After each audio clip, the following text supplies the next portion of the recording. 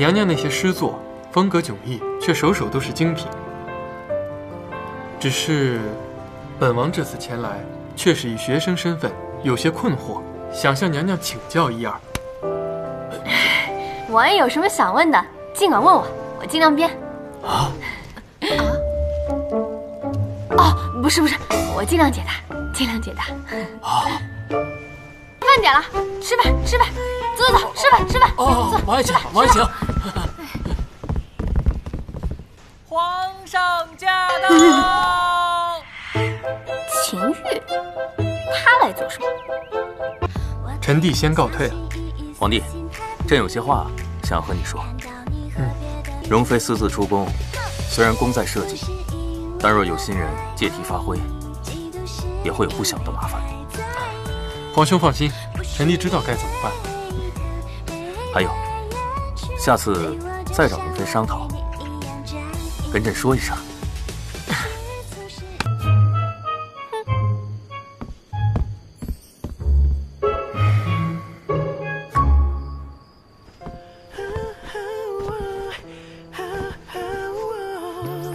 你救朕中毒的那日，你弟弟也在。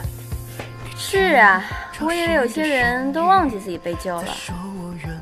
你这话是什么意思？那不然怎么会恩将仇报呢？恩将仇报？朕把你放出冷宫，有恩将仇报这么严重吗？当然啊！你这又是什么意思？我家床太小，睡不下两个人，只能委屈皇上睡地上了。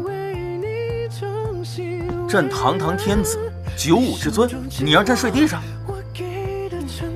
那不然，你睡床上，我睡地上也行喽。哦，你说的。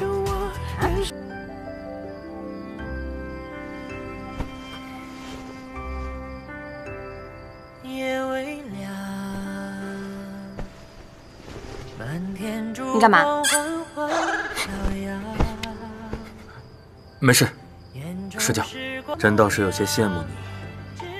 想进冷宫就进冷宫，你可真有本事。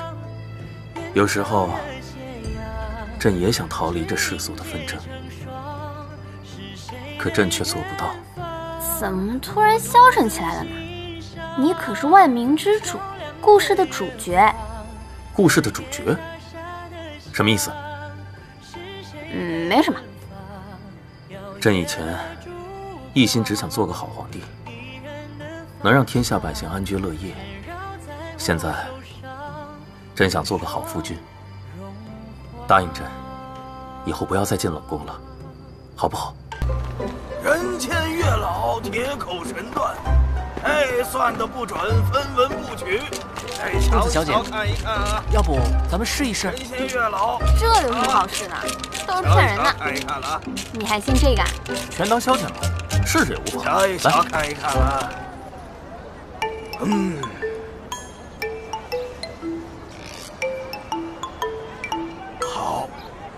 好啊！姑娘眼波若水，面藏桃花，此乃红鸾心动之相啊！你的真命天子远在天边，近在眼前呢。谁啊？谁啊？谁啊？哦，该不会是他吧？开什么玩笑！这家伙狮子座，我天蝎座，他火象，我水象，星座就合不到一块儿去。水火不容，懂的。星星座？怎么又是孔明灯啊？你全当给朕个面子。好吧。准备好了吗？三、二、一，放许个愿吧。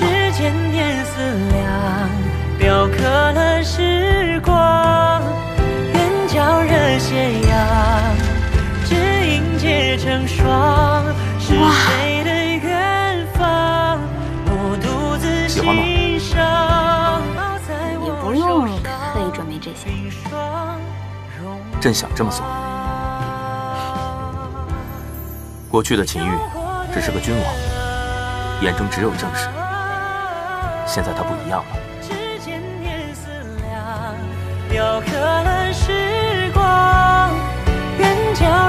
谢。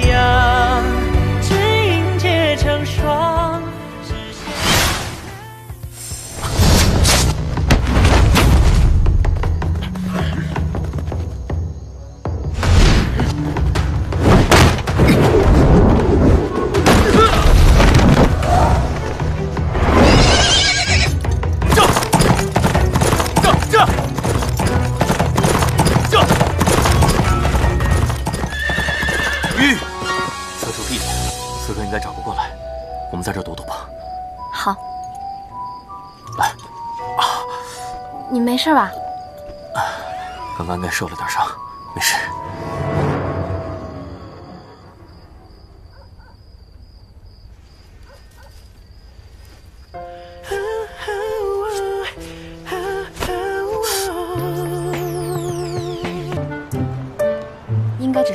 伤风感冒，我给你开一些清热的药。啊，嗯，你照着去里面抓药就可以了。好。哎，姐，这女神医还挺漂亮的。那当然，这可是我小说里的正牌女主，老秦的官方 CP。啊？你不懂。这有一张寻人的单子，麻烦你帮我留意一下。哎，嗯嗯。你这人怎么这样啊？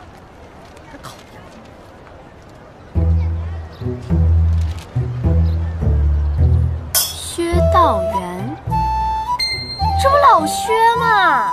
那天他喝醉睡在河边小木屋里，你救皇上没看到他吗？哦，是他呀！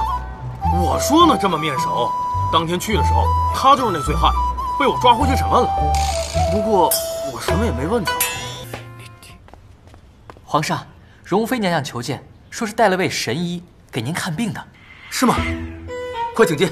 是，快快快。娘娘，请。走走走，别紧张啊。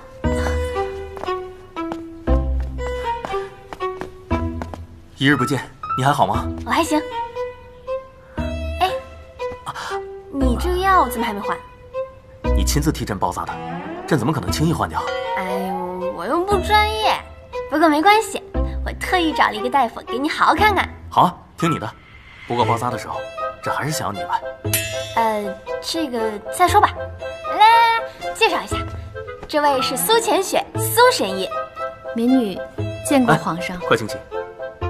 想不到神医是位女子啊。皇上。